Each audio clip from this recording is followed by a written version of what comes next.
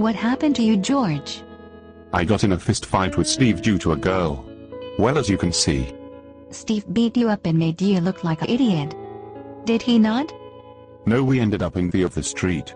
Out of nowhere a street cleaner hit us both. You guys are a bunch of jackasses. You know that, right? Yeah I know. I'm going to sit in a corner and think about my life. Tisk tisk tisk. Don't judge me.